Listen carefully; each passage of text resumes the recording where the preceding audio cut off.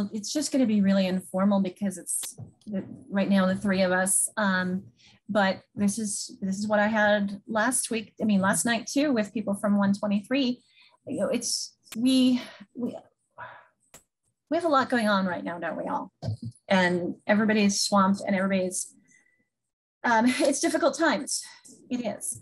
Um, and remind me, Cynthia, your name is really familiar. You're on the DAC too, aren't you? Yeah. yes. I need to um, bookmark this one for 114. So awesome. We have like a little, we'll just have a little DAC chat. um, Cynthia, were you also on the little subcommittee group? I should, I'm going to stop recording for a moment. as far as the early literacy screener, there just wasn't a lot um, already in place. There wasn't a lot of knowledge or understanding or plans in place prior to me walking in. So there's just some catching up in those areas. You've uh, got a lot of work to do. I appreciate that. Well, let me share with you both what I had planned and um, and then we can also go with wherever you feel the need to, and we can just have this be an informal conversation. Um, you know, this was obviously the attribution of the, the Puget Sound started this work with these PLCs and we've taken it over. Um, I do also have some land attributions. Um, this is your region and, or is this, yep, this is your region. Um, and this is also recognizing the treaties that contributed to this. And this one is the um, where people are currently. Pretty interesting seeing how that changes and recognizing that acknowledgement is that but that first step. It does not stand in for relation and action, but can begin to point toward a deeper possibilities for decolonizing relationships with people and place. Recognizing also the um, racial acknowledgement trauma. Um, and as we just add on that this is not to deny the racial trauma endured by other peoples of color, but we are calling out those who are disproportionately affected by the violence. And a few norms, we've right, emphasizing grace. We've been, we've all been together before, so I can just go through all of this. We know how to engage. Um, so this is one of the things that when Patricia and I first made this plan, we thought to really focus on the RAN and fluency right now because of the RAN expectations being done in, in January. Um, but we have some review time, some um, team time, and some looking at the interventions piece as well. Um, so starting with just where we are, you two know me well. so we'll start with the um, the Jamboard. I think you both put on, and I'll go to that Jamboard from last time. This is frame three. We do have um, and I'll put this into the chat box for you so that you can add things or review and, and put thoughts or use it outside of these meetings too. Actually, I don't have to find it in here because it's in my notes. And you can see I have a the first one. Oh, and also attendance link for clock hours. I'll put those both into the chat box. Okay. Anna, you, you're both disappearing from me. All right, that's okay. Hi, thanks. Welcome back, Krista. All right, so I know we have you here from last time. And actually, it looks like, Cynthia, maybe you might not have been with us last time. So the question was your name, position, elementary literacy specialist for Krista. You are a decision making. Um, Cynthia, I can add you on. Do you have a preference on color? Or you can add on your own. Um, just a little bit of, of getting to know each other a little bit, although you two have, we've worked together before in the, the Dyslexia Advisory Council. Nonetheless, it's a great place to start with just kind of who's been here. It's interesting to see who who's not been with us, who's not here with us today, but who has been here. And there are people who will be on the email list when we send this out. What's your role, Cynthia? yeah, I can add it if you'd like. So I know you're Bremerton. What's what's your role in Bremerton? Uh, Assistant Director of Assessment and Data. I'm so used to my multiple screens at, at work that when I, I ran home to do this Zoom from home and I, it's just too many things. No problem. I can handle that. And then the you. question is, I assume that you are a decision maker. Yes. Yay. So many of my PLCs are just teachers who get frustrated that they're like, we're not the ones who make these decisions. So it's easier that um, Mhm. I like how you say that you're a decision maker in some areas, Krista, and then others working on it. Um, okay, so the idea then of these PLCs was just really just to foster that regional collaboration so we all work together. Um, here are some agenda pieces. We're talking about you know, just that introductory pieces, and we're going to look about the, the RAN. Um, and this is actually something I'm going to be doing next week with a district. I'm going to a district in my region and we're going to be doing some more intense reading on the RAN. I'm pulling out that 30 page document that we had uh, read for the council, looking at a couple of pages of that, as well as one from understood.org. Really just trying to help our teachers understand why on earth are we doing this, particularly the specialists, and then how that connects into the, the fluency piece. And then looking at intervention practices, I think that's the next place that we're moving is, okay, we've done the screening, then now what, what do we do with that, that that data that we're collecting. Um, so this is where we've, um, we only planned for three this year with this group. Um, we'll be meeting again in May 18th. And this was when I say flexible roadmap, the idea is if there's something that comes up between now and then, please let me know.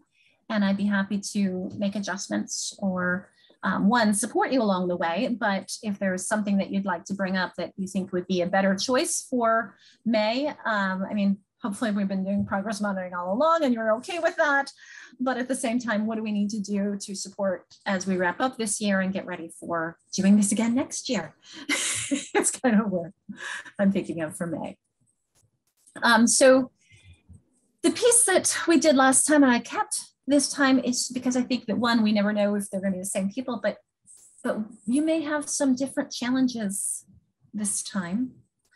You may have some different um, you know, successes, some stories of, of, of, challenges and hopes. So I do have two Jamboards, and um, if you'd like, we can give you individual time to kind of think about that and then talk about. Or if you want to just start talking and I'll kind of record, we can have a conversation with just three of us let me know if you need private think time first or if you're ready to chat about the two prompts were a big challenge and what you hope to get and give. Well, one of our challenges, and I'm sure you're seeing it too, Krista, we just haven't been able to, um, just keeping our classrooms covered so that students are safe has taken a huge amount of our resources. So against best practice, I have been administering the RAN to most of our kindergarten and first grade students because our specialists are all covering classrooms. Mm-hmm.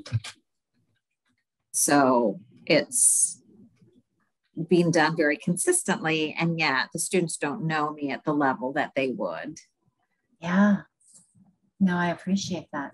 Mm-hmm. I'm keeping tabs. You know, reason why I'm keeping notes on this too is that people who aren't here today but I think could benefit from knowing that they're not alone in some of these mm-hmm. challenges. And I would say a big challenge um, is just the sheer number of students that have had, um, uh, um, you know, learning loss because of the COVID impacts. And so the amount of students that we need to support is at a record level. Um, so the challenge is just the sheer numbers of students that need help or tier two support. I would agree with that. This morning I had a, a meeting with the um, Washington Reading Corps. And I don't know if either of you, are you either of you familiar with that program? Yes. Kind of ish. Um, they were asking me, I mean, when Cheryl and I were writing the K1 program, that the, the tutoring guide, the whole intent was that this would be review. And this is mm-hmm. tier the idea is for kids who were yellow and that, that the, these tutors would not be teaching but they would be supporting and reviewing these things with kids. So phonological awareness and, and letter sound knowledge. And they're telling me that like half of the third graders are reading at a k1 level and they're saying to me, How do I teach them rhyming? How do I teach them sound symbol correspondence? And it's just like, okay, this is going to take a different shift mm-hmm. because mm-hmm. this is not the intent of this program is for you to be a teacher. But if this is the teachers are saying we need you to do this, mm, that's scary. Mm-hmm. it really is.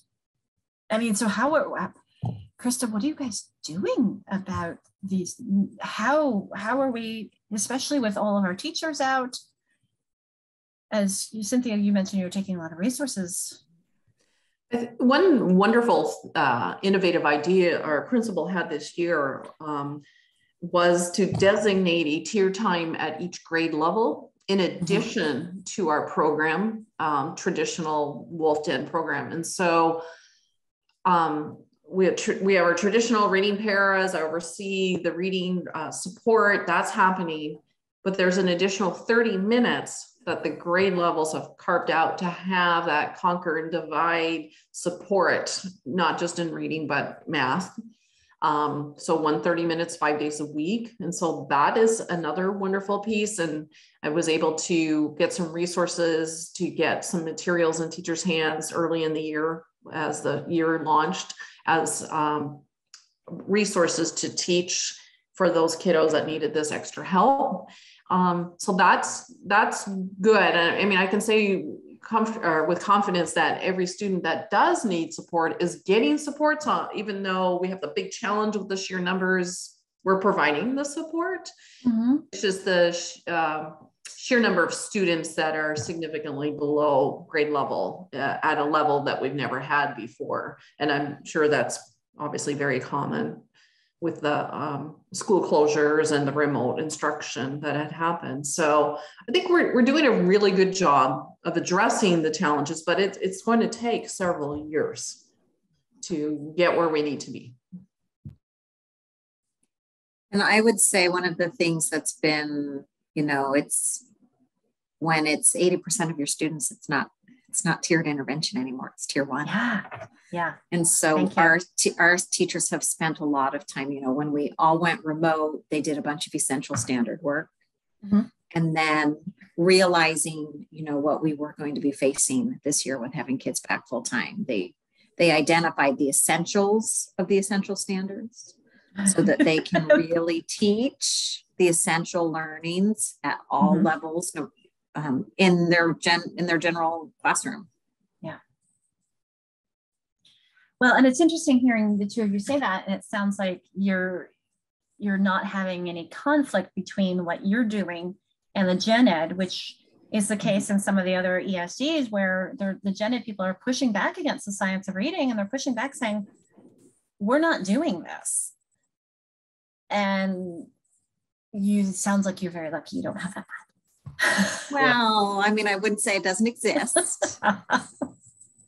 but we are we are looking forward in our district and doing some things very explicitly with our K1 teaching cadre um, and trying to protect that teaching cadre so that kindergarten teachers aren't moved to fifth grade or where our highly qualified kindergarten teachers aren't moved to fifth grade just because that's where the numbers are.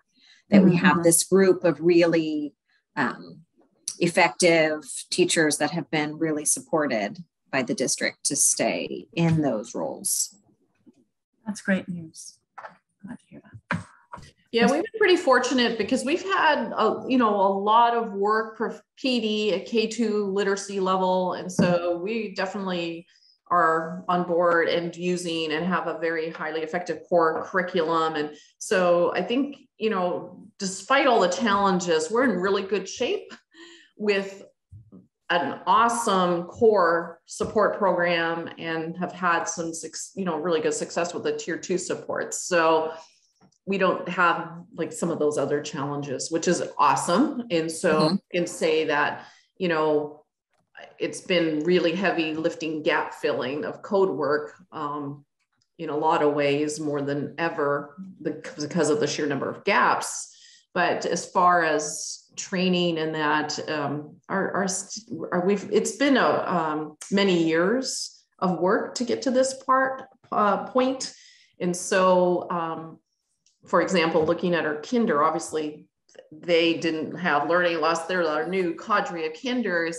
And so something we might not have been, we weren't very good at, say five years ago, teaching phonemic awareness, mm-hmm. we can get those incredible scores by middle of the year. And so that is reassuring because we know those kinders going to first is just like, that will be like um, a regular first grade experience in terms of not having kids impacted by the COVID learning loss because they had their solid kindergarten instruction and move on to first. So, um, yeah, so really pleased with that. It's, it's my biggest concern is the second graders. Our second grade students were kindergartners when school shut down in March of 2020. Yeah. And then first grade, sheer amounts of students that were homeschooled versus remote learning. And so those second graders are the cadre. And I think that probably is pretty common throughout yes. our, our country, even not just Washington State, because that's the early learning of literacy. Those are the kiddos that mm-hmm. I, my concern is our intermediate teachers will need extensive support on the reading foundational skills more than ever. They always did need that, but the sheer the numbers of students would be significantly less that they would have to be the heavy lifter of the reading foundational work. They would have gotten that mm-hmm. more mm-hmm. in a tier two setting out of the classroom. But I'm thinking that, gosh, we really need to do some intermediate mm-hmm. teaching of the reading foundational skills um, components i mean they've received some but the nitty gritty you know phonemic mm-hmm. awareness and the code work and the phonics and alphabetic principle all those things uh, to understand we have a great scope and sequence of codes layout in our program um, and the intermediate teachers have been introduced to that over the past but i don't think it has been a go-to thing that they have utilized deeply because they haven't had to but mm-hmm, anyway mm-hmm. No, that's a really good point. I think that that speaks to what I heard this morning of 50% of their third graders reading at K1 level. I don't remember which district that was. and I would agree the second graders are of concern, but our first graders and our kindergarten, I mean, I look at the students that I'm seeing in buildings and they weren't in preschool. They haven't been socialized outside their family home. We're seeing not necessarily early literacy gaps as if they had missed two years of in person learning, but they are not kindergarten students like we've had in the past. And so, though our teachers will, um, I'm sure, do a great job with early literacy skills, it's there are other things that are getting in the way of kiddos learning what's being taught. And so I think we have several years of um, kids coming into us that have had different experiences prior to entering school than the students that we're used to. So you're saying lack of pre-K experience has been really in, in, yeah and it's just and it's it's even i mean they've just been home with their families mm-hmm. so not only is it not preschool but it's not going and spending yeah. time with the extended cousins it's not yep. I mean, we're just seeing a lot of kids are emotionally and socially so immature undeveloped because they haven't been in the haven't had those experiences and i that's not going to end with the kiddos that are going to be kindergarten next year no, that's a really, really good point. And I think about, I mean, even no longer attending children's museums and play dates and and and like all those social things. Mm-hmm. This is a hard time for us all right now. We're becoming so much more isolated that mm-hmm. that you're right that we and and if we don't, I mean, I walked into the, um, the mall the other day to go to the library because we have a library in our mall, and was astonished and just shocked to see there at the entrance area indoors, a mother and her small children, both of all three of them unmasked, and so it's like it, our our culture and our thoughts of this have been really changed and fearful of how do we protect everyone because that's the first priority but then this is going to be an interesting, definitely barrier I hear as well. Thank you both tremendously. I, I, one of the things that I, I you possibly saw me go into when you said you have a strength in in your um, core. Do you mind me asking what you are using for core? Yeah, sure. We have core knowledge language arts, uh, so CKLA. Mm-hmm. And, you know, there's never a perfect curriculum, uh, highly rated ed reports, but it, in my what 20 over 25 years K2 teaching, it, it is the best reading foundational core program I've worked with. So I feel anyone can become a strong reading teacher with how it's laid out. So, I'm really glad to hear that. You know, it's yeah. funny you mentioned that because just on Friday, I was attending um, a summit with Sally Shaywitz and Anne Cunningham and um, who was the other one? Tim Rasinski. It was very good. But Anne Cunningham was talking about how the importance of, of good core, because she's saying in teacher prep programs that she teaches at Berkeley, that we don't have the time, or they don't have the time, my former, um, to really do justice. And you don't become a good reading teacher until you've been in the field for a few years, and that mm-hmm. core can really help you with that. Cynthia, what about you? Do you also use CKLA or something else? We use Wonders, and in our primary grades, we've added Heggerty because there's a bit of a gap. Well, it just there isn't enough. There isn't enough phonological awareness. I always forget is Heggerty with a T or a D? I'm looking for my book over there. Two E's, one and a T. Two E's? Yeah, it's Heggerty, not Haggerty. Most people spell it Haggerty. Oh, yes. Sorry, my screen's so small, I can't see it. H E G G E R T Y. Y. Yep. That's what I thought. I have, I have, a book over there. I'm not sure if I could reach it, but um, thank you. I appreciate that. And I also sure. had mentioned that that K, you know, the phonemic awareness strength that I heard in, in you both as well. Um, and then there was the other question of um, what do you hope to get from and get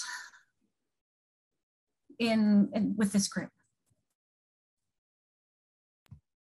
Well, when I signed up, I just wanted to make sure that um, I was, well, obviously being up to date on the K2 uh, screening um, pieces.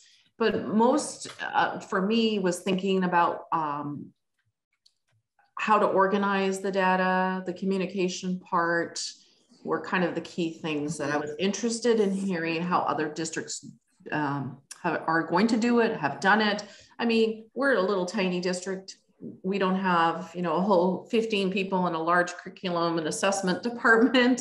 And so I'm curious to see like Seattle Public Schools or Spokane to see how are they organizing this? I, I feel now I have a better grip on it before when I signed up uh, today because I've mm-hmm. seen through our data person how they got some direction from their ESD for Skyward setup on how it could look possibly. I don't know if it was they are told to do it this way or here's an option for your district, but our data person has already set something up in Skyward. So now I can see, I guess this is the way we're doing it. And, and it, it seems feasible. And, and yeah, uh, I haven't used it yet. I mean, I've looked at it, I've looked at the, the notes. I haven't had time to go in there and start mm-hmm. clicking the yes, the no, etc.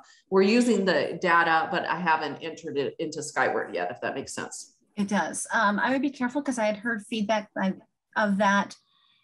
Um, filter it carefully because I someone had mentioned an ESD training through about Skyward that wasn't by somebody who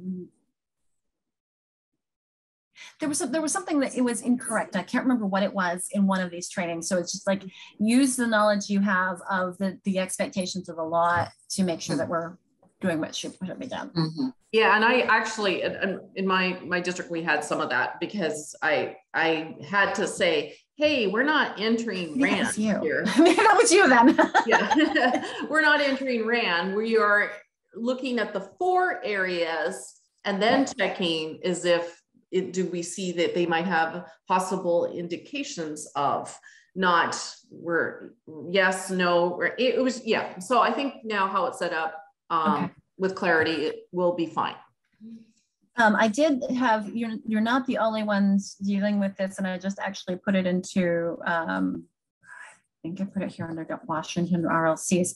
Yes, this question has been going around the state actually with the question of um, so someone had talked about um, what to do with this data. Could we, you know, for some, for example, someone was talking about creating a, a Google form where people could put in the information and then the student information systems person could upload it directly to CEDARS. Because um, this is just a question of, we've been asking, um, this said the their current plan was to have the principal enter all the student data after the student, teacher's student in. My understanding was if you put it into Skyward, it just communicates up to Cedars. You don't have to do any extra pieces, right, Krista? Yes, and but there's you're reporting to the state more than yes, they're at risk for word level reading difficulty like dyslexia. No, you have to up the our student um, SIS person, she has to up the, the, the data that she sends has to include the screener tool that we used, the date that the mm-hmm. screening happened, mm-hmm. yeah. are they at risk, yes or no, as well yeah. as all the interventions that are in place for that student. Uh, I everything you said up into all the interventions that are in place, I think is included in ours. Uh, I don't have the, I left my folder at work, but yeah, all those other pieces are mm-hmm. there. Um, and I'm trying to think what else. There was a piece with um, obviously we're using two assessments. One that does the first three the the extra new assessment the ran is something different. Um, my understanding is we're not selecting ran. In our situation we check acadience ran is just one additional piece. Um, so I think we're in good shape with that. Um, as far yeah, the guidance is to follow the instructions on the published tool that you're using. That was an approved tool. Right, right. So we're using iReady, and they mm-hmm. iReady has published their own RAN and a flow chart on how you identify risk. Mm-hmm. And so there is a whole dyslexia export that will come out of iReady that will indicate if this student, this was one of my things that made me very happy. I wasn't sure how this was all going to work. And I was mm-hmm. very worried that I was going to end up looking like the 60% of students that aren't at standard at reading all have dyslexia. And the good news is it's not telling me that. Good. Their export is identifying a handful of students. And of that handful, there was one that had no problems with the RAN and four that did. So those four, I felt very confident and comfortable saying, yes, these are students that are at risk for a reading difficulty like dyslexia. We were looking at maybe looking at iReady at some point, but I know when, and I know it just changed in the November meeting that it has to have the four areas where iReady didn't have all four. Actually, this was last year. This was last spring that we made that decision. Okay. And so mm-hmm. I'm sure iReady will change it. And I sounds like they have 4 mm-hmm. uh, did, when I looked at it, they must have changed it because when I looked at it, it did not have all. No, they, they've added that. That's new that they have all four. Okay. Well, had all four, but they weren't expecting that you would to administer all four. They well, had a price so this is one thing that I want to help with have the the the, the council clarify uh-huh. because even with the RAN RAS, there's not uh-huh. the expectation that you do all no. four. There is the expectation that you use a screener that has all 4 mm-hmm. And that's, I think, where we need to clarify that your screener needs to have all four in case your kids don't know the alpha, the letters and numbers. You have the options of the the, the you know what I'm talking about objects. That's been very confusing, Alicia. So when I'm in my assessment, my district, what's confusing for me is district assessment coordinators are DACs, but I'm also on the member of the dyslexia yes, DAC group. I know. So it's like, which DAC am I today? trying to help my peers understand that they have to provide four for you so that you can find one a child has the vocabulary yes. to demonstrate the processing yes has been really challenging most districts are giving four because they're not sure what to do. Well and i think but you know what that's really good input for me to make sure that we clarify mm-hmm. at the next webinar and while we're still on that I would love for, for us, when we report to the state, we're reporting a student is a one, two, or three. A one, they were screened and they're not at risk. A two, they were screened and they are at risk. Hold on a second. three, I want to focus on hearing yeah. you, but I, yes. I, I want to write this down too. Um, oh, I'll be able to remember that part. You go ahead. That's okay. three, a three, they were not screened and they are at oh, right. risk. But I need a four that says not screened because I'm an emerging multilingual and I don't have a published RAN in your native language, but I'm not going to assume you're at risk. Right now, my EL students that I'm not scan that I'm not screening, my only choice is to label them a three, not screened but at risk. I thought we had a emerging multilingual in there. So tell me again what well, I heard it was coming and I asked my student, my okay. Skyward person, and she contacted OSPI Skyward person and she was told, no, we're only entering a one, two, or three. So one is screened at risk, right? No. One is screened not at risk. Not at risk. Okay. And two, two is, screened is, screened at risk. At and risk. three is like my self-contained special education students. They've already had a battery of tests. We already know that they're at risk for a variety of learning difficulties. They don't have the vocabulary to to give to do a RAN with me, so I'm going to give them a three. Right. So, so that's not what our that's not what our three is. Our three is the multilingual piece that I don't have the verbiage in front of me how to say it correctly. But the first two are the same, and our mm-hmm. third is that ELL component one. And that might be what you're saying, but what the state's going to hear when they see that three is not screened at risk. That's what it means. I wish I Which had is different to me. with me because um, yeah, that's not anyway. Our data person went to the ESD whatever training and she mm-hmm. gave screenshots of all this. And mm-hmm. so I so don't it know. sounds like we need some clarification yeah, on that. Maybe there's an and maybe it's part. yeah. Because that's not what I've seen in our screenshots from her training and what it looks like okay. here, but maybe she doesn't have it right. So, or maybe my person didn't go to the ESD training, she just went to OSPI. Okay, interesting. Well, because we've had some different things come through where the OSPI gave us yeah. one piece of information about assessments and she received different information. Yeah. And I think like, that's part of the challenge of all of this. Mm-hmm. Yes. Mm-hmm. Because I had, you know, an issue where early on where someone was saying you have to give the RAN to K1 too. No, we don't. We have that as an option. And mm-hmm. so I, I, feel like I've spent a lot of energy mm-hmm. um, trying to share information and educate, which is fine. Mm-hmm. I have that opportunity and that privilege, but um, with folks that were not believing what I was saying. Uh, and even though I'm on the Dyslexia Advisory Council, so that was frustrating. well, and that's where when you're saying the K1 too, I'm just so confused where they would get that because even if you look at our, our matrix, it feel I feel like it says pretty clearly K and one. Yeah, the matrix is beautiful. And I think it's because the person wasn't understanding, they were looking at the law. It's the K mm-hmm. to okay. law, and their focus yep. was it's on the law. You know what I'm saying? Right, right. so no, they I were totally speaking a different that. language than I was speaking. I appreciate that. So um, before we move on, Cynthia, what, is there anything you'd like to add about something you hope to give or get? Um, part of the reason I joined was just because I'm new to the region. And so I just want to calibrate with my regional peers and get a and, and just make those connections and make sure that we're, you know, that we're representing our communities and, and doing things as to cause as least conflict between districts as possible, districts and parents. That's a fantastic idea. I love it. so let's just get into the, the RAN a little bit then. Oops, I'm going to go to, here we go, this one. Um, the RAN influence. Yeah, I know we've talked a lot about this because you both are our um, council members. Um, but the question that I have for both of you is, have you seen the administration, That, oh wait, you're not using the RAN RAS, are you?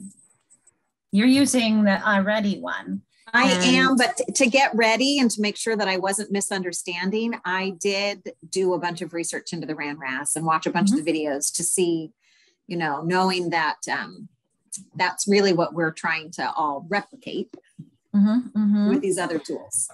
I appreciate that. Um, and Krista, you're not using the RANRAS either, are you? Yes, we are using the RANRAS.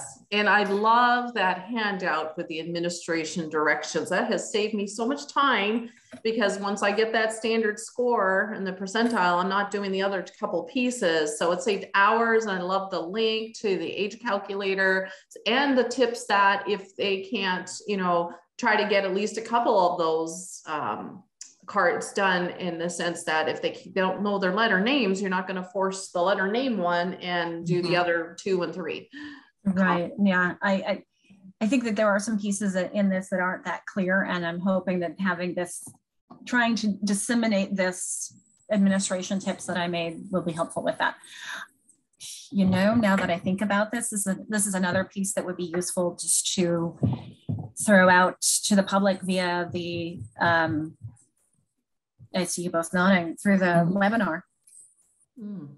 or or let them know that they should contact their EL their RLCs for this because this is you know, at these these kind of PLCs we have this opportunity to connect and share and, and, and this is again why I want people to come to these is we do offer some helpful things. I'm glad to hear you say that, Krista.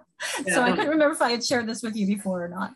Yeah, and the PowerPoint reference there was excellent, and the video was great. And so I used the video to share that with my reading paras who do the, did the administration and shared the PowerPoint with them too for some background knowledge. But even that first part about skipping the age and grade equivalence saves so much time. So that was awesome. And we do we do have a um, it's not stated here, but there is a district that's working on a digital calculator where you could all you have to do is put in the ROD scores, the the time, and it will tell you the um, standard scores. Hmm. So that would be nice, but working on that. So I'm glad to hear that that was a useful piece. Um, and then there's also, I mean, I think we've already talked about that, that additional information and why we've, we talked about using some of those. So I'll go ahead and just kind of um, add on this piece of the why on that and where the RAN falls into this. And this is a slide that I made kind of wanting to help connect that RAN to this to people who are not as familiar because it, I feel like it really stresses or, or it, it helps us in the automaticity piece that you may, where's my, I'm looking for my spotlight thing here. You may be accurate, but the question is, are you automatic? And that's the place where the RAN is really coming into is that automaticity of being able to respond to something you already know. And so it's what we're not, we're not even talking about their, their word knowledge here when we're tapping into the, the RAN. We're just talking about their ability to automatically respond to a prompt and to, to draw on that phonological awareness piece. And so I thought that this was a useful, just kind of framing, I, I, got a lot of this from, um, what was his name? Tim Rasinski. And I added a bit of my own, just looking at the fact that you, you need this base, that accuracy first to develop then your automaticity. You get that, get it right first. This is something I say often in my trainings. Slow down to get it right, and then you speed up and practice a lot to get it automatic. I mean, I, do, I think about and use an example of my kids when they play cello. I'm like, they want to go really fast. I'm like, no, no, slow down and get it right first. and then you can practice its automaticity. So it's in the back burner, whether it be reading, writing, any of those skills. Um, and then, of course, as you are more automatic, then you can start adding in that, that prosody and the expression, and which, of course, leads to reading comprehension. Thoughts on this and whether or not it's something that your teachers I mean, like the next prompt I had was simply, you know, what's new, what's reaffirmed, um, what do you need? So let's just talk about, you know, when it comes to RAN RAS, reading fluency, these pieces, um, do you feel like your teachers get this, need this? I'm saying, Cynthia, you're saying they they don't get it. They do need it. Tell me more. Um, I feel like we still have this. We teach phonological awareness and phonics in K and one without any comprehension or and then in second grade we just suddenly teach only comprehension and we don't address any of the rest of it and we end up in this spot where we never get to automaticity with those skills that we're learning do you know what i mean I do. I do. And so instead of looking at, okay, where K1 is really focusing on this building my decoding skills and accuracy, it sounds like you then you move to here without recognizing the fact that we need to get automatic with these skills so that I mean, that, that takes practice, that takes time, that takes a lot of work for some of our kids to develop that automaticity. And it is one of the weaknesses in the Wonders curriculum is in those foundational skills, there aren't enough, if you just you follow the teacher's guide, there aren't enough practice opportunities for any of the skills, right? So it'll be, we're doing onset and rhyme today, and there'll be three words to practice as a class. Mm-hmm. And then, And then we move it. on the next day. right? And so teachers are having to know because it's not explicitly in the curriculum, they need to know which pieces do they need to add in more and which pieces do they need to do less of because as Right. any with any of those published curriculum that there's more than you could teach in a two years Well, and that completely explains why you're adding in the Heggerty is because of some of those gaps that you're hearing. What about the decoding? Are there decodables? Um, actually, I think my kids use Wonders, and I remember very Mhm. authentic texts. Um, I don't remember now. Granted, my kids started using Wonders. I wasn't really paying attention to the K1 as much as two and beyond. But are there decodable texts that support and align with the phon- phonics that they're learning? yes and they are not the stories of the week that you do all your comprehension work in they're add on reproducible pieces there are some decodable leveled readers but you have to purchase those separate well they're not really leveled they're decodable and then they're matched with the units so um, those are an add-on those aren't part of the core purchase And do you guys have those? And when I was in like Washington, we bought them for all K3 classes. Bremerton does not have those. Because I think that would be my concern is how do you how do you build this automaticity without lots of decoding practice? And there's a lot of, I'm going to go to teacher pay teachers and I'm going to buy the Wonders Unit 2, Day 3 extra passages that I can run off, which are very similar to what Wonders is providing, but they're actually easier to find than the ones in Wonders. I, I mean, don't know if you've ever spent any time in there. It's just No, there's a there's a ton of material in it, and the searching is hard. Um, so it just it it requires a lot of knowledge on the teacher side about both where to find things and when to use them.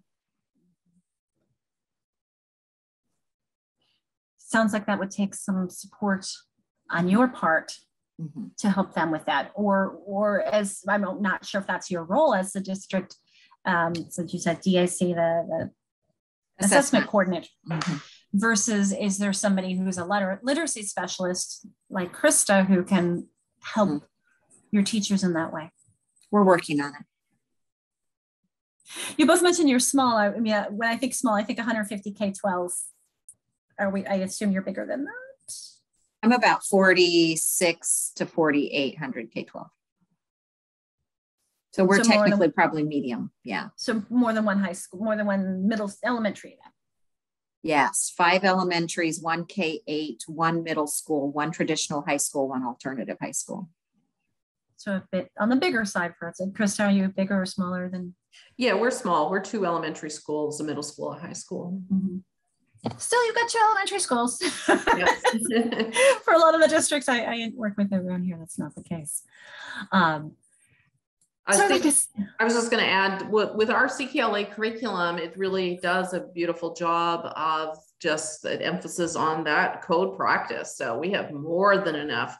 You have um, remediation, you have pausing points, you have the assessment remediation guide, we have a decodable text, you know, working from the you know right from the beginning on. So we have more than enough for to build that automaticity. But it seems that that prior to covid that was an area where we're really moving towards and focusing on because there seems to be out there in, in the gurus of, of the world using that as a primary focus with the brain imaging and understanding how we build the mm-hmm. bridge and and so on because we tend to struggle um, getting to that automaticity piece. When you look at say second grade data and we have say 25% of our students are not meeting that oral reading fluency norm it, what is that? You know to really dig deep. It is is it just the, the dimensions of fluency? Most likely for many kids no. Is it decoding? Is it you know and so mm-hmm, on. mm-hmm. so that second grade challenge of getting those kids automatic. We've, we've been working on it, of course, K1, but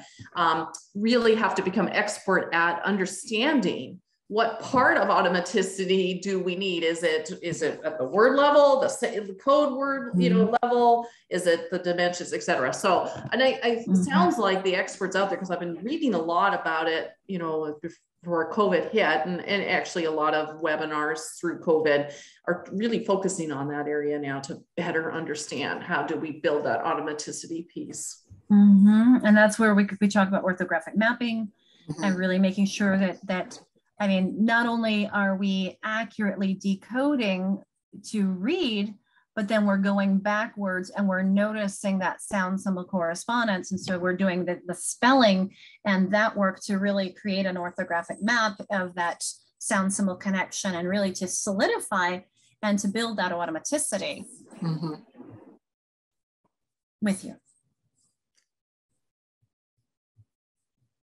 keep looking to see when somebody wants to add in. That's what I love about that I can see your faces.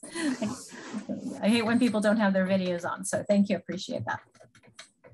Um, I'm gonna go back to our, I think at this point, we, I just had, on, like I said, this reflection time uh, and which was leading to this whole group conversation, which goes a little more, more quickly with just two of you know, what was new, what was reaffirmed. And I guess we, what we haven't really talked about, I mean, we, we touched on it a little bit with Cynthia with when you said that, that your teachers don't have this as much as they need.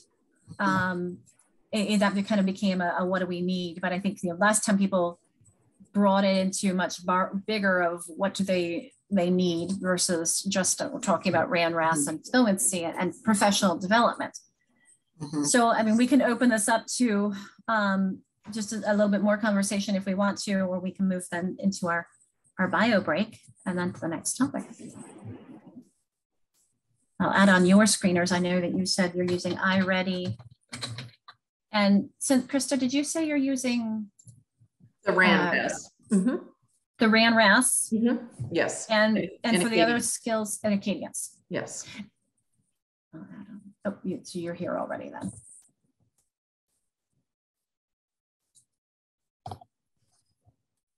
So other thoughts on anything new or any needs that you see from what we've been talking about so far? I need time to work with the teachers and there's just because of mm-hmm. the COVID challenges, you know, it's been more about collaboration versus professional development per se. Our model has switched um, and I feel like there's a lot of misunderstanding out there because they've heard about this RAN RAS. And even though I've had, you know, an opportunity last spring to talk about it, I've had a few uh, things come at me from intermediate teachers, even though my focus is K through two, to say, can you, this parent wants their child tested for dyslexia and I, and I have to say to them, well, our school psychologist will be the person to do that. This assessment that we are giving measures the RAN, and this is one piece of pertinent foundational things to be screened, but it's only one part of you know so we have a lot of people focused on dyslexia. They're they're going to diagnose dyslexia even though i've said no it doesn't. And this is the process. And so mm-hmm. um i guess I, I need to communicate more so there is less um, misunderstandings because the, even having me on the council and but I I have mostly the opportunity to just chat with the K2 teachers, but it's getting out to the upper end that they're diagnosing dyslexia down there and I got this struggling fifth grader. Can you give them that RAN test? I'm like, no. so and I think along with that, Krista, a little bit of we already know what to do with students that are struggling with word level reading just because we can I we can give a screener and say they have some indicators that make them at risk for a, a reading disability like dyslexia. Not, that's not going to change what we do. We already know what those students need. We already have the tools. And a, a little bit of that, I think, is so it's that, like you said, communication. How do we help our staff and our families know that this is just because we're now layering in the screener mm does not mean that we're changing our whole intervent MTSS intervention structure. This is going to help us be smarter about it. And hopefully over time, the interventions that we are using are more effective, that we are fine tuning our craft, that we are developing deeper skill sets within our staff that are delivering those interventions, right? But it's this this screener is not going to suddenly mean that every student that might have dyslexia is fixed. And it doesn't mean that we're suddenly going to provide four hours a day of orton gillingham you know. It's just i think there's some confusion out there and it's how do we address that in a unified way that doesn't take away from how the work that went into getting us to this place where dyslexia is now a topic of conversation, right? It's like, how do we not undo that and yet kind of get everybody to take a breath and relax about now that we have a screener? Doesn't mean that our the whole apple cart's upside down. That's a great point because I feel like we have a really highly effective system. And I was sharing with Alicia before the meeting started, we're not seeing surprises. Like now that we've mm-hmm. added the mm-hmm. RAN, our other assessments were awesome and still are. So there isn't like, oh, look at this, we're catching kids that we wouldn't have caught. No. In fact, the surprises have been more like this student has some challenges with RAN, but look, they are at benchmark despite this working against them, or they're mm-hmm. just below. We have very few students that um, are very poor in RAN and well below in Acadience and the well below an Acadience scoring at the first, second, third percentile, we would have already been red alert on them. I think the challenge has been though, um, because of COVID impacts, we we didn't and we wouldn't have moved faster anyway because we need to give students opportunity to respond to the intervention and mm-hmm. it's the it's the thinking okay were they in school? Were they remote last year? How much time? Right. I, right now we're confidently moving on those kids that are appearing to be red flags at this point in the year.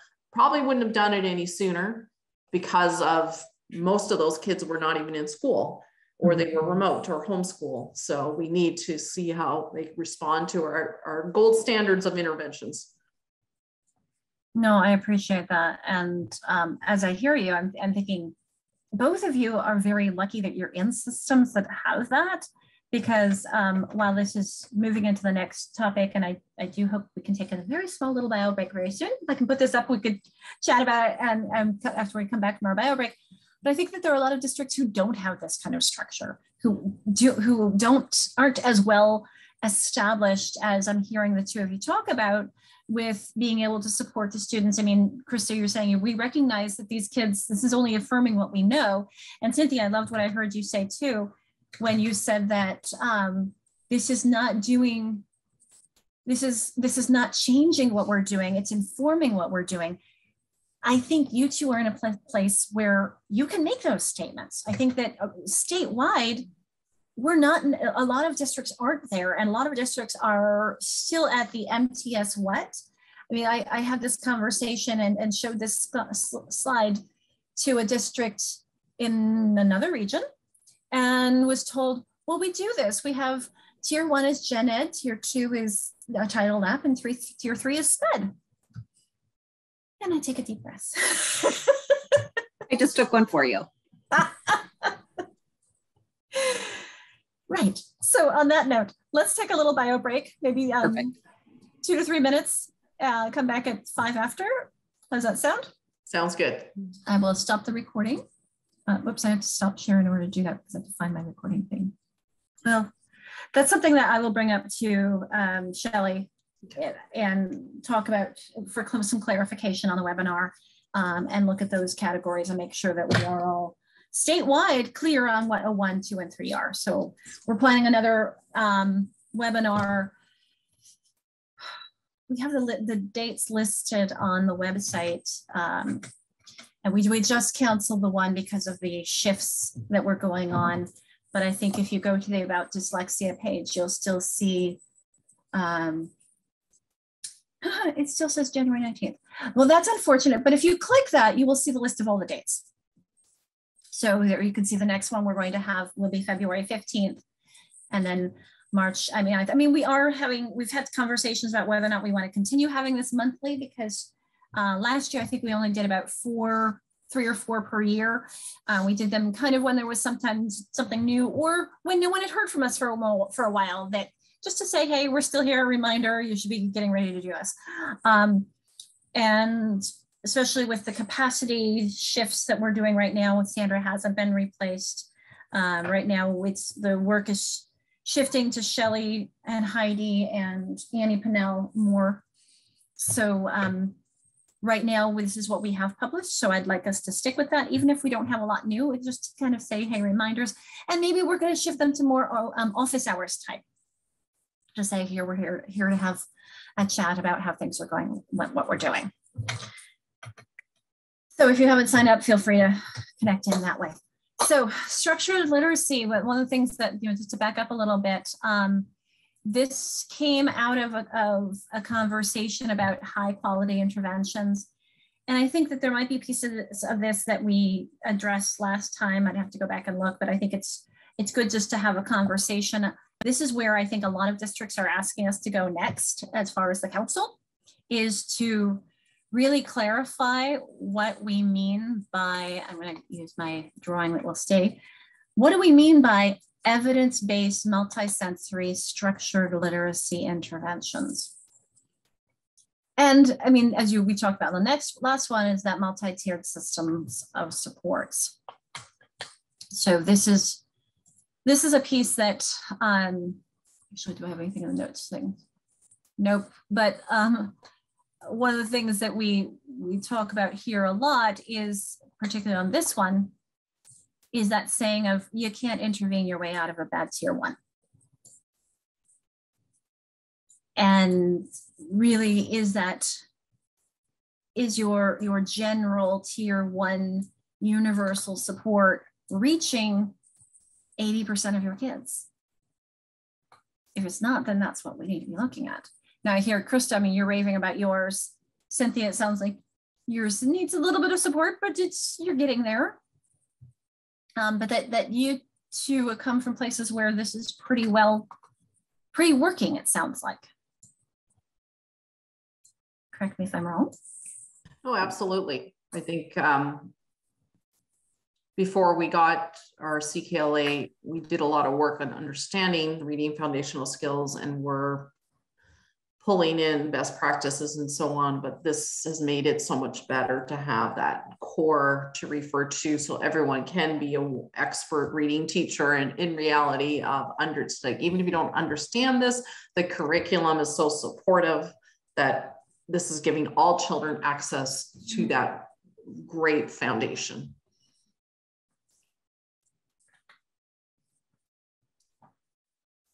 Just giving you an opportunity if there was anything you wanted to add, Cynthia.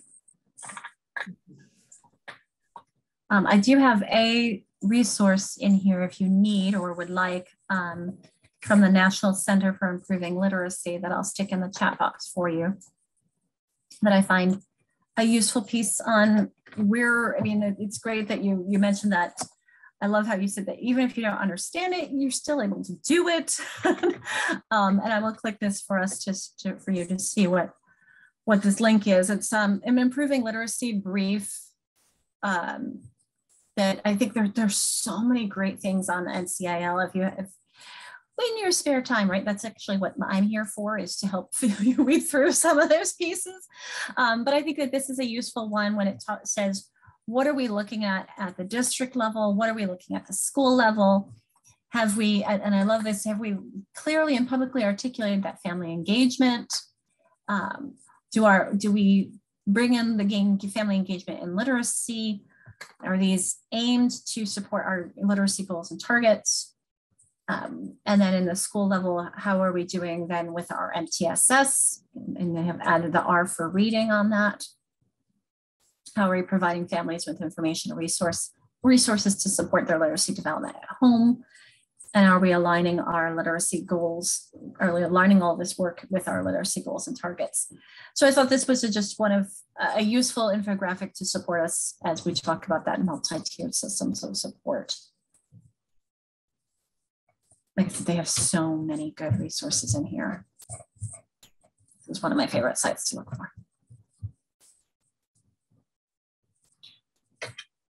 So toward that end, I also have um, was so this is a new doc that did I show this last time, Krista? I think so. I, I believe so. If not, it was from a different meeting, but I have seen this. Okay. Um, Cynthia, have you seen this new version of Nancy Young's ladder reading? Did you share this in one of your classes that you're doing? Yeah. So our elementary, I talked our elementary director, our director of elementary ed, into taking those courses with you this year to help get us tooled up to do things differently in elementary next year. And she shared all the folders that you'd shared with her. And I think that's where I saw this. That's awesome. Well, I like, I mean, one of the things that I've been starting to draw attention to more is the, the circular nature that these are not static and really helping draw attention to particularly those who are more stuck in that structure of these, you know, helping that, that one thing I like about this one is it shows that these are added on, that somebody who is in, who is receiving, I'm trying to also help us get out of the language of, I mean, mm. even yesterday there was somebody who's saying, well, you know, right now we've got kids who, who are tier five because they would normally be tier three, but because of COVID and, and their needs are so strong, and he's talking about kids being tier one or tier two or tier three. And this is, thank you, Cynthia. I just took a deep breath and it's like, how do I, how do I push back on that and say, these are actually, you know, the kids are kids, that everyone is a tier one kid and that they receive these other additional supports as they need. And so that was, that was a challenge for me in that moment to push back in a way that I'll be listened to but I think that that's that's one of the cha- challenges. What I like about this with those arrows is that you have that understanding that you're not stuck in any one, and we all have that jagged profile that you may be strong here in one area and down here in another, and down here in another. And I know that Nancy Young, when she made this, she really wanted to inform and the, the differentiation needed. So this was a high a high word that was strong with her is that just because, yes, we all need that um, an understanding of how our language works, we're going to need it in different ways.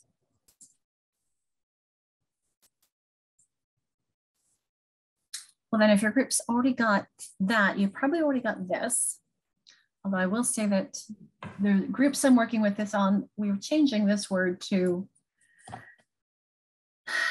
have a conversation about it in one of my groups next time. It's like, well, who does tier three? So this, what about with you two? What would you call that tier three piece or person who's doing this? Is it also the reading specialist, the intervention personnel? In our building, it's really our special services. Um, so tier two is reading specialist intervention personnel but our tier three is our specials, uh, our special services department. So our special education so teachers, our SPED para educators. And I would suggest it would be everyone in tier two with the addition of special education staff. I, I like that, that the question is so when Krista, when you say it's special education staff, are you then requiring students who need these additional supports to be evaluated for special education or are they still getting that as a pre-referral service? Uh, to be evaluated. Support. But, and I have to say, it hasn't always been that way. We've had um, more of an ideal model in the past when we had the personnel. You know, I'll give an example. Few, five years ago, maybe it's seven now, I, I've lost track of time, but collaborate with a special education teacher. We had purchased some materials together. The groups were blended. You know, she would refer to me hand select students that could fit into the traditional tier two reading groups. And, and that was lovely and, and worked.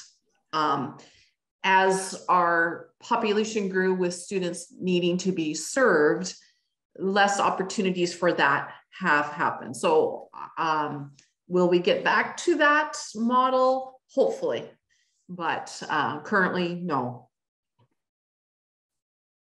Interesting. And I just look at the mm-hmm. students that we have now, mm-hmm. and I think most of the students in my system are getting tier two from their classroom teachers. I mean, if we think about how far outside the grade level band a teacher is covering content, what level mm-hmm. of intensity the interventions are. Um, yeah, and then tier, what we would typically think of as tier two is being layered on top of that just because we have kids with, with such deficits. I mean, classroom teachers can't teach last year's content they have students that know the material from last year. They're having to differentiate at levels previously unknown. They're having to be more intentional about what they're teaching. They're having to really leverage smaller group size for those kids that have the greatest deficits to bring the intensity of those small groups, those interventions up. So, This has been an interesting conversation. I appreciate that. Like I said, I'm taking it to a, a particular district next week.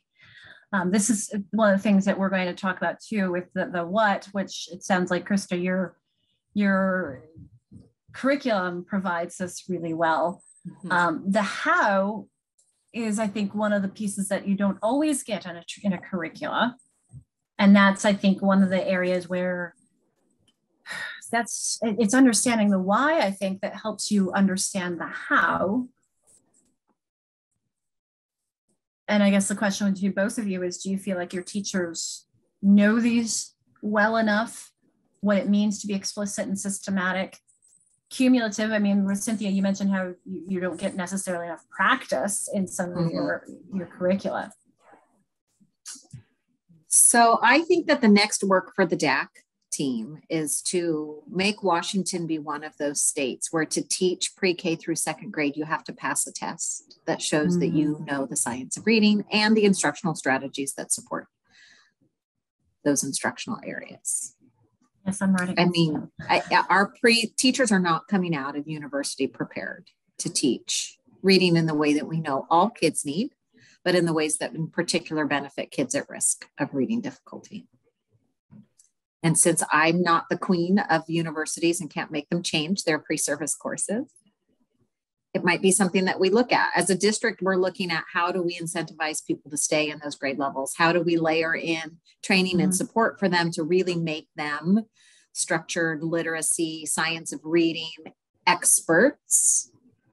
Mm-hmm. Um, so that our tier one is as rock solid as is possible. Mm-hmm but that's hard when you're one in the sea of many you know mm-hmm. how teachers talk across district we are a, dis, yep. a state of local control so it makes it really challenging um, i would love to see us look at some kind of competency based model where teachers demonstrated that they could do this and that they should get paid more if they're going to teach k1 and then they have to prove that they're good at it mm-hmm. Mm-hmm. I love so I, what I'm hearing of the competency based model, maybe even have a science of reading certificate or like mini credential that they do. We were actually, when I left Lake Washington, which was where I was for years and years in their intervention programs, we were working on grant, getting grants and, and working on um, uh, that our reading specialists would all be, be certified with science of reading. Um, and even we were beginning talks with some universities about trying to get um, some of the practicum pieces in place, right, for that. And it just, I don't know what, I don't know what happened when I left a few years back, but. Mm, definitely something to look into. Go ahead, Krista. Well, in, I love what you said. I think those are great ideas. It, it's interesting because I've taught in different places and two different countries to think about how our in, in, in many school districts, our neediest students are being served by our paraprofessionals.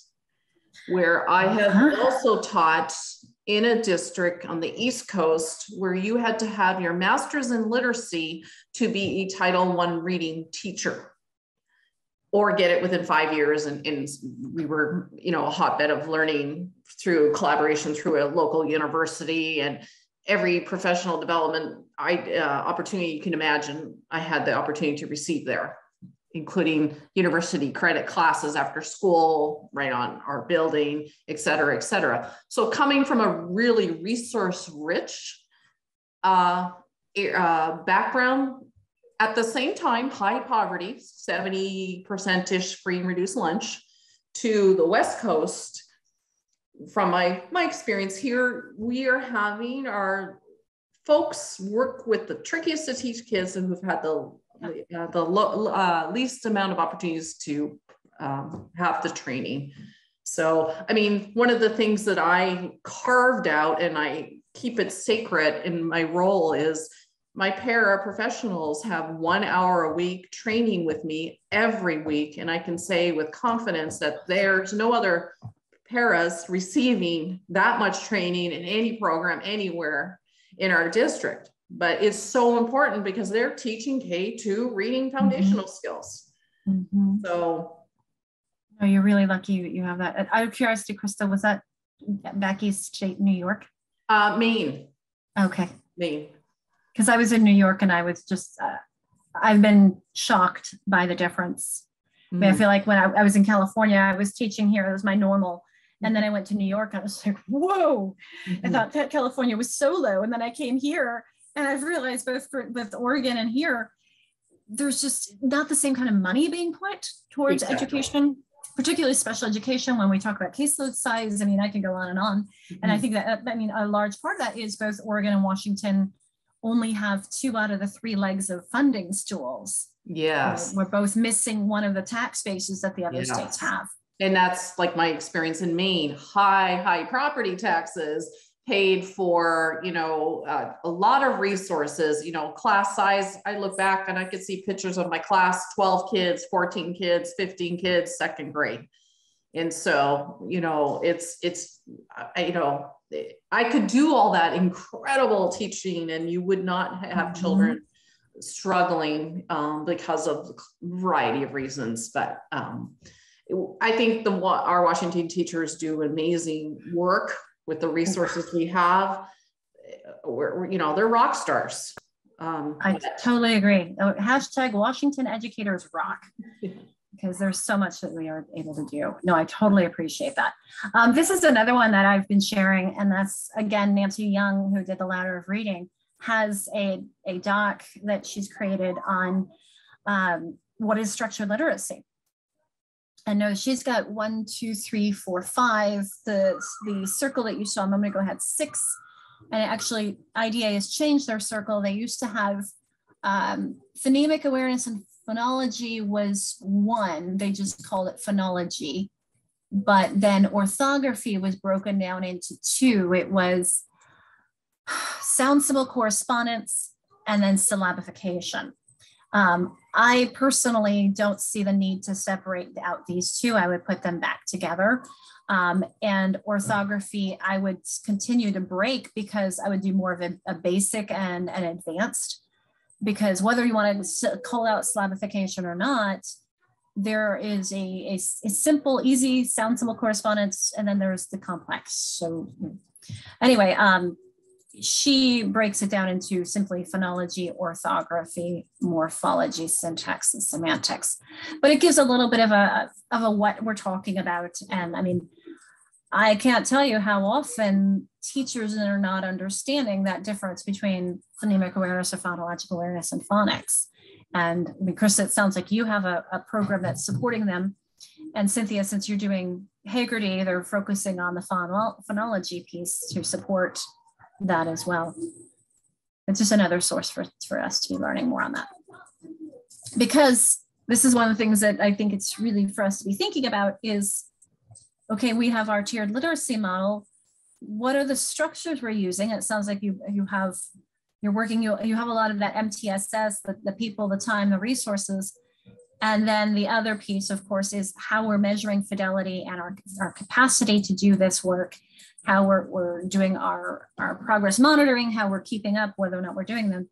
But then there's the content side is what are we doing for, as you had talked a lot about, that, that tier one, that high quality instruction and their interventions in those. How are we making sure that those are, are secure? Um, and I'll tell you in, in other districts, there's a lot more work that needs to be done in this. And we, we bring in um, the simple view of reading. We talk about Scarborough's reading rope. We've brought in the Reading League's curriculum evaluation tool.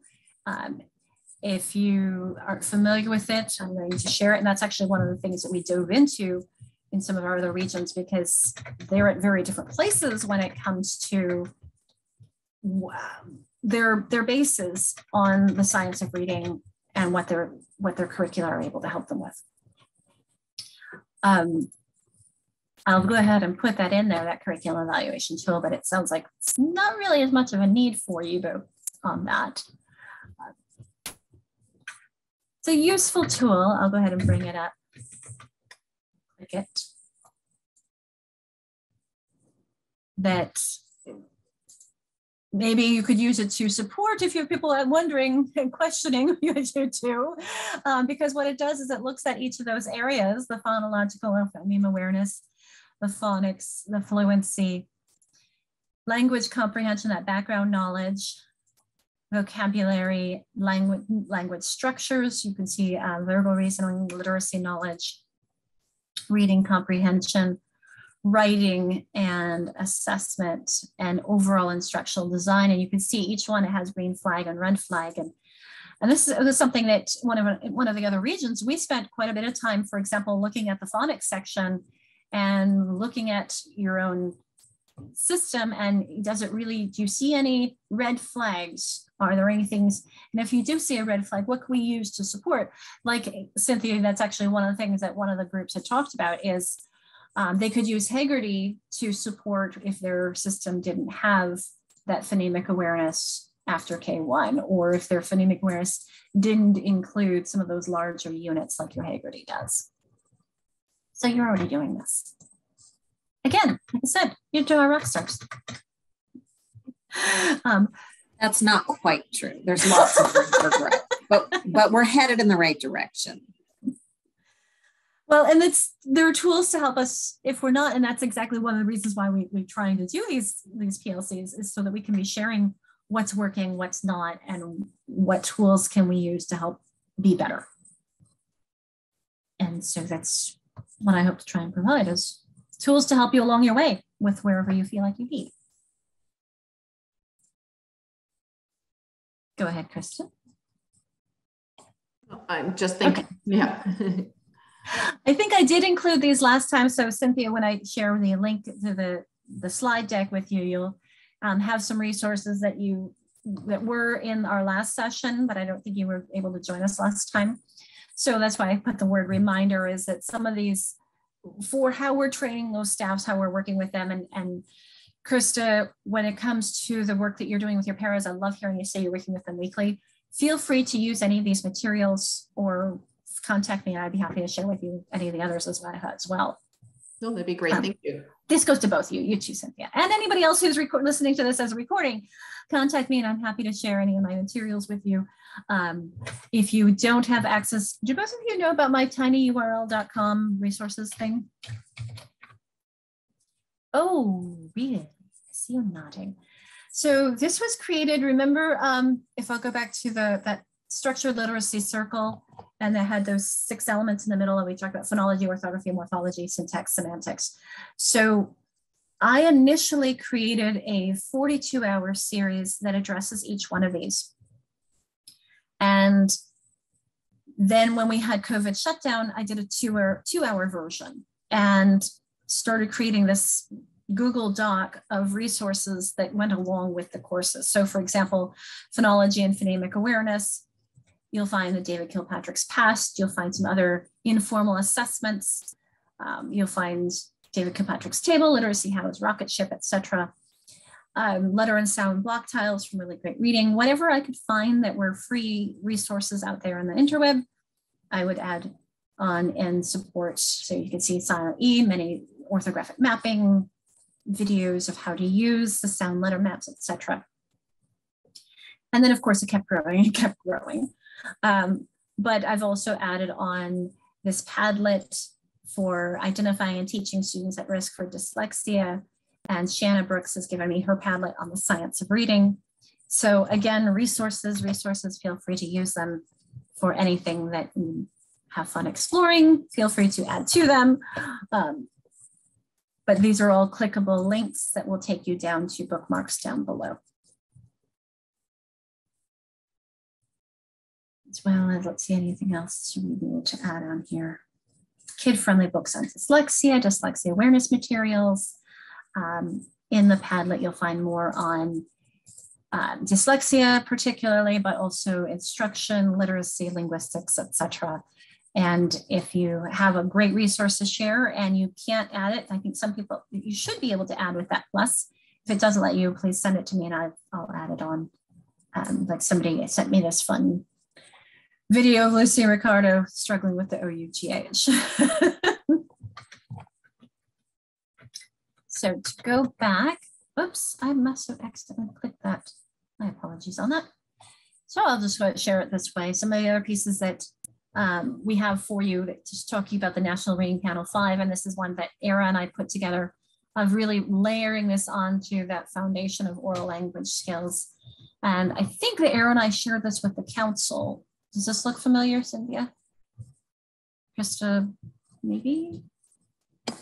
I don't think I've seen this one.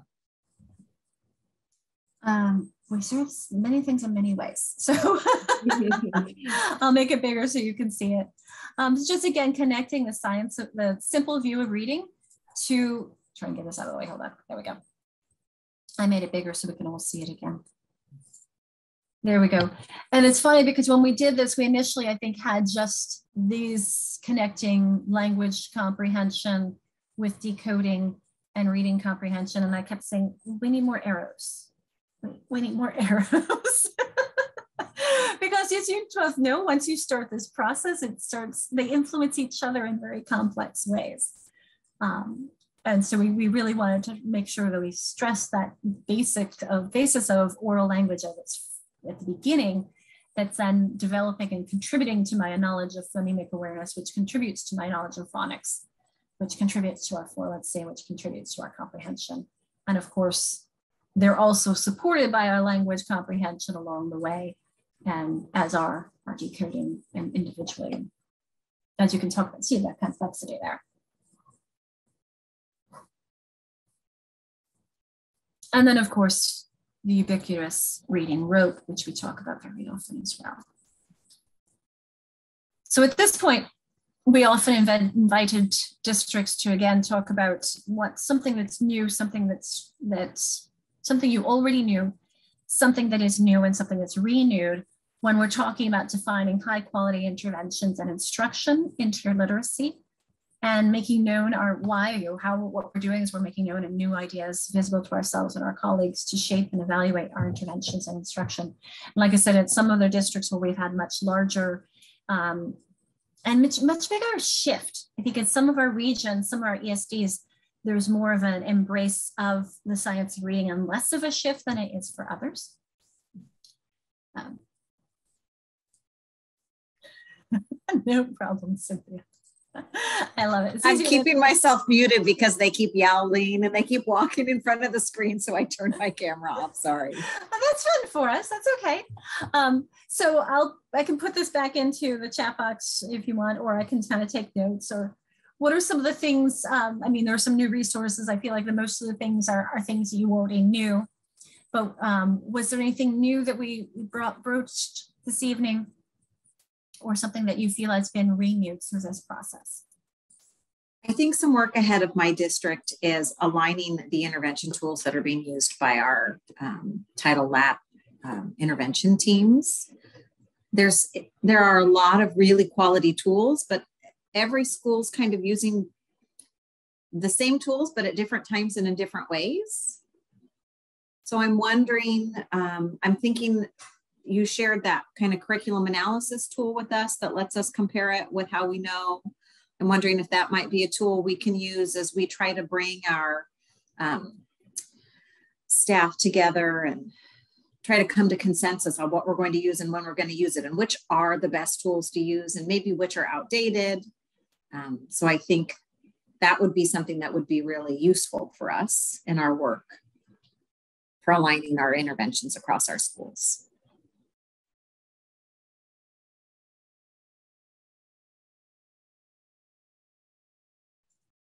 I, I needed some juice on my sore or dry voice, so I put muted myself.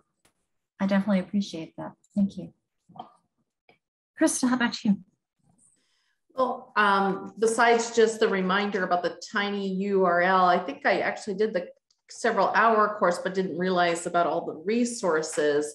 But um, just back um, when you had mentioned that um, affirming what we know and that we're not changing what we're doing um, and just communicating out with our staff will be really important um, just that we've added this new piece to our mm-hmm. assessment profile.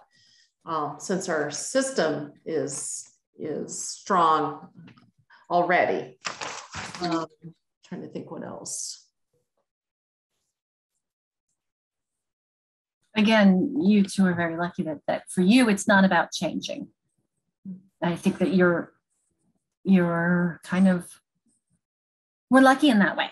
I was gonna say anomalies, but I'm not sure. But I think that, that this is definitely not the case across the state that, um, and this, this kind of contributes to when Sandra was saying all the time before that she wanted to find places where this is happening well mm-hmm. to kind of connect with and, and help people see who are not as far along that that this can happen and we can do this well. Mm-hmm. So I'm gonna make a note that you yeah. And I feel like we have all the requisite component pieces mm-hmm. to be doing this well and to be getting great outcomes from our kids. But I feel like they're all kind of not quite in step with each other. And so when we look at our student outcomes, even though pieces have been layered in over years, even before COVID, we weren't really seeing that great change, positive mm-hmm. change in student outcomes that we'd be hoping for. You know, Bremerton is a really high poverty district. Um, we serve all of the families, many of the families that work at the shipyard. It's a there. It, it, there's a lot of students that come to school. Well, I'll say we have students that come to school like this. So we have we have students that come to school with what we think of historically as school ready, and we have a whole bunch of students that don't come to school with what we think of as historically in education, what we think of as school ready skills. And so for us, it's trying to figure out how to get all those pieces working and what are the mm-hmm. pieces we're missing, you know, some of the social emotional stuff, mm-hmm. some of the um, neural ed pieces, right? What are we missing that we don't have in place as we try to just get everything running smoothly? We're not there yet. We have a lot of good pieces, but we're not there yet. I guess is what I'll say. Well, and, and earlier when you talked about um, the difficulty with the automaticity piece, it makes me think of a, uh, a webinar I attended recently put on by Oregon RTI. And um, I do have my slides if you're interested in seeing them from, it was Wiley Blevins. And I think that they still have, it was really good. It was really good. And one of the things he talked about so much was that we've been doing phonics for a while And we haven't seen this needle move. Why? It's because the lack of connection between the phonics that we've been doing and the books the kids are doing for practice, that they're completely missing each other. And that's again where I pushed on that, that decodables is that they have to have the opportunity to practice what they're learning. And so when he said we, I mean, he's also talking about so, so many of our districts and our, our regions where they are more of a whole language, more balanced literacy, more of a, a workshop model where the kids are picking authentic texts when they're not ready to be. And so I, I, will say, I'm one of the first people to say there is a place for authentic texts, but they also need a more of a decodable if they're to develop that automaticity if they're not yet there. And so that's a piece I think that I can really support on that. I can't tell you how many times I've said, yes, children need to be lifelong readers. They need to read beautiful quality text, but nobody is going to read for enjoyment when it's hard for them. Exactly. If they can't, you need to make it. it not hard for them. And that's exactly one of the things that Era and I really worked on when we were putting the uh, ELA, not the menu of best practices. Oh, if I go OSPI, ELA, uh, here, no, there we go, the ES, ELA standards page. And I will um, put the link in it if you guys haven't seen it. Have you scrolled down to the down here to the understanding the science of reading on the OSPI ELA page? So you notice that it leads two little pluses. That means you have to expand. And you'll see some additional resources. What is structured literacy? What is the science of reading? Um, an article by, I think this is, uh, this might be the Reading Rockets one, on the difference between structured and balanced literacy. And Erin and I spent quite a bit of time crafting this sentence that explicit skill development, along with that exposure to great literature and read alouds, will ensure that students will be able to accept, access any type of reading independently. Isn't that our goal is that independent skills? So I'll put this into the chat box for you if you want to not have to go searching for that. All right, awesome. You two have been fantastic. Um, the last thing I had planned was our team time um, for to give teams opportunity to talk and process and reflect, but you don't have teams with you. So um, we can also, I'm sure you wouldn't mind finishing up early. So um, I will say that there are, are, places on the Jamboard for you to talk about um, your own capacity, uh, whether or not you need to prioritize assessments, where does assessment fit in? Um, are your teachers regularly using data protocols? What resources do you have? What resources do you need? Um, and if you need supports in any of these areas, like I said, please let me know and we can find ways to support you, um, whether myself or Patricia or I think Nina is your new RLC. I'm not, I haven't met her yet, but we'll work on that. Um, but I also then have a survey that I'm going to give you to ask you for input on what would you like to hear more of next time? Where would you like our focus to be? So I'm going to put that in the chat box um, as well as I know you two are aware of, but this is a good reminder for everyone about um, our bringing back, bringing in Maryanne Wolf, Hugh Catts, Nadine Gaab, Mark Seidenberg, Julie Washington, and David Kilpatrick um, to Washington. Please, please, please help get this message out. Um, if you want to take a screenshot of this, or if you don't have the PDF of that, let me know and I can put it into the chat box. Do you two have this flyer? I have it. I'm only going to be able to go to the first day. I'm so sad. Could you put the PDF in the chat box? I will. Please. So Cynthia, um, uh, we're still building out who's going to be on what day. Who, mm. whom do you really, whom do you really want to see? I can work on trying to get them. uh, is that terrible if I say Wolf? Not at all. I think, I think she's a high ticket item. Um, and and I love listening. I know that not everybody loves listening to David Kilpatrick, but I like listening to him. Oh, he was amazing in person. Um, I think, yes, uh, he's so smart. He truly is. Well, and Julie Washington is when you mentioned multilingual learners, that's her area of research too. Yeah, so put those three on day one. That'd be great. I'll see what I can do. Hugh Catts is excellent too. Um, and so is Nadine Gaab, but she talks Well, they very, all very are. quickly. They all are. But if I had to Uh, prioritize, And hold on, getting that flyer for you. Uh, here it is, Beyond Dys- Dyslexia Awareness Flyer. I hope this is the most recent one, 1123. Um, letter B for Beyond. and while you're digging out documents to Mhm. share, if you don't mind, the RTI Oregon. Of course. slides from- So I Mhm. think that's, I hope that's the, the right RTI, the, the flyer for this one. Let me grab that for you too. And I will go ahead then and stop the recording before I go digging. Um, let me find that. And just with a, oh, I should have said thank you instead of thanks. I'm much more of a thank you type person. Go Yes. ahead. It's funny, I, when, okay, stop recording.